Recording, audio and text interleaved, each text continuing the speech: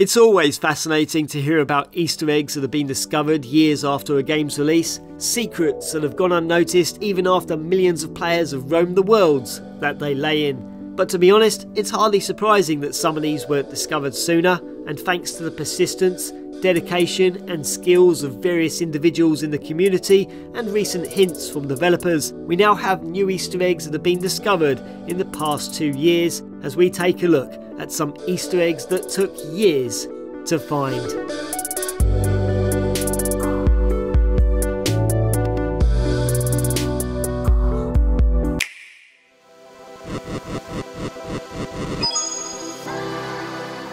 Zelda's Adventure for the Philips CDI was developed by Viridis and released back in 1994, and some 25 years later in June of 2019, a CDI enthusiast happened to stumble upon a rather strange looking sprite in the game that happened to be of a skateboarder, which is definitely something you'd never expect to see in a Zelda title.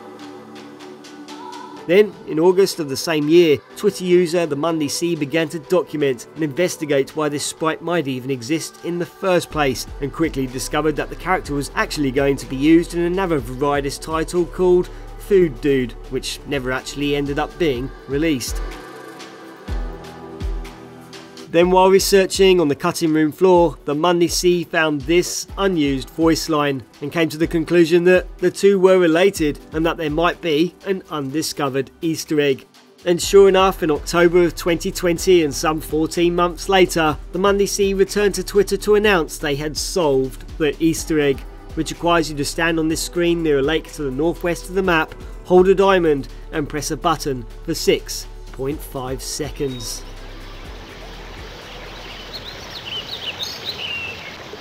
Radical, dude, totally. Radical, dude, totally.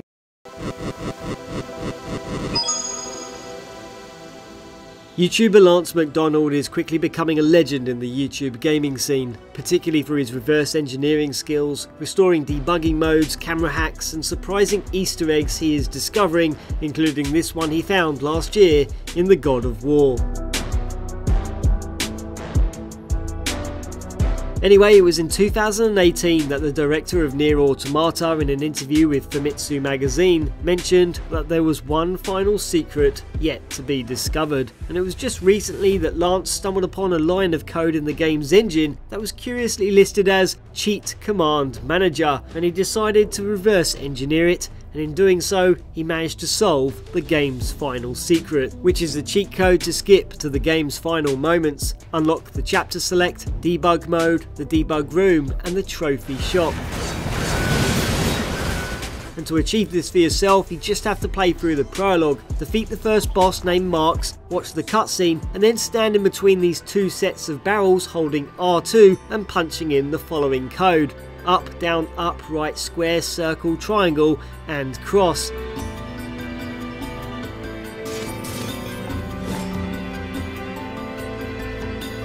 Pod 153 to player. Please respond to this query.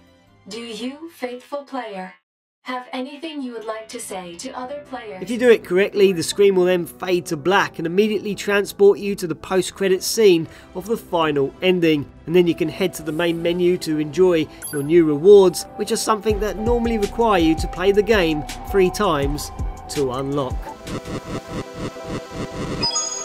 1. Peanut.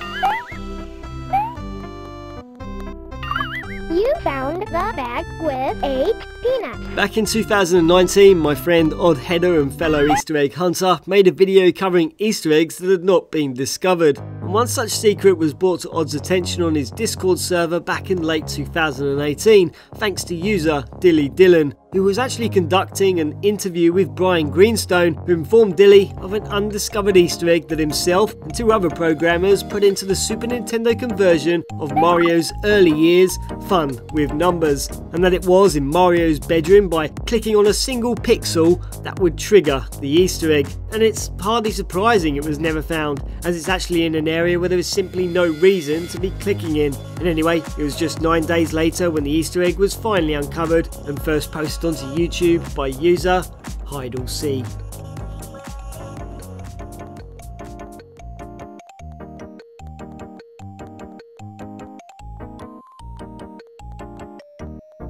Hello.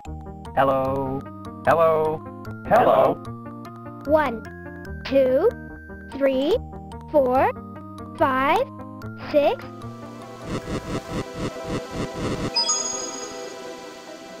Quite some time ago, myself and Oddheader were contacted by an anonymous developer who worked on Homefront, The Revolution, and told us that there was an Easter egg still yet to be found. And in Oddheader's video, Discoveries Never Meant to Be Found Free, he went into detail how data miners had actually found the entire game of Timesplitters 2 hidden within the files, but we didn't know if it could be accessed properly. Anyway, roll forward to the 4th of April of this year when game designer Jan asked this question on Twitter. And out of all the hundreds of responses he had, Matt Phillips was one of them and he said, My proudest moment, fully playable native 4K port of Timesplitters 2 hidden in this arcade machine in Homefront, the Revolution.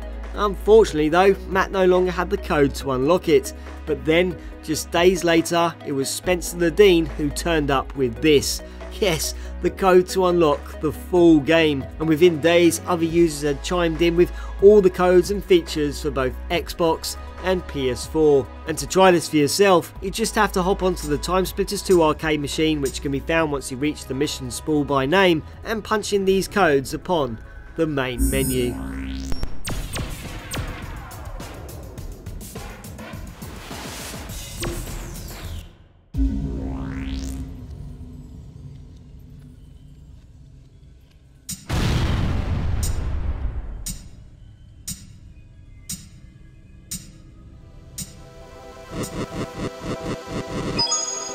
Hi, it's Robin.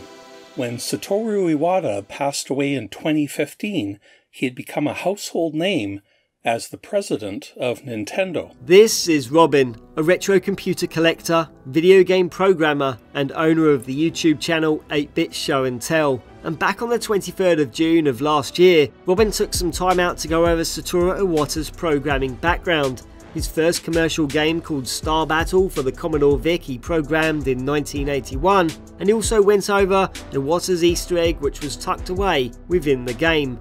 Now, while this secret has been known about for quite some time, it has never actually seen the light of day and been displayed in the way it was meant to be seen until now, as Robin discovers that there is almost complete code that allows the Easter egg to be triggered in game, and then spends the rest of the video explaining how he found the code, how to trigger it, and how he restored it with his very own patch and enabling him to activate an Easter egg which was created over 40 years ago.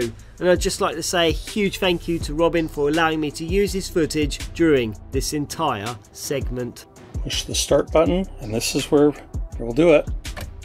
There's the Easter egg. There.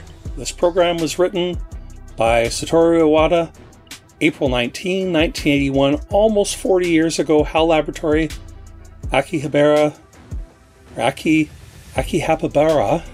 no. So I looked that up. That's actually a district where they sell lots of electronics, and it's actually where Iwata would have hung out when he was getting into computers around 1980 or so. Earlier on in the episode, we discussed how many developers were responding to Jan's tweets back on the 4th of April, and there was also Patrick Wren, a Halo designer who also revealed an undiscovered Easter egg that was lurking in the mission of evacuation in Halo 5. And with that, the crew of the YouTube channel Rocket Sloth jumped into the game along with General Kid and Spartan Blood 01 in search for the Easter egg, and spent many hours theorising, testing, and exploring every nook and cranny in hope of unlocking it. Unfortunately though, they didn't have any luck on the first day, but thanks to another tweet and further hints from Patrick on the following day, the Rocket Sloth crew jumped on with Decane 23 in a buddy and managed to solve the 6-year-old Easter egg, which requires all four players to rush over to the first gate within 3 seconds and then stand there for a further 117 seconds, where then all four players will be transported onto mongooses to start a race of Halo Kart. And I'd just like to say a massive thank you to the Rocket Sloth crew for allowing me to use their footage and this raw video of the Easter egg in action.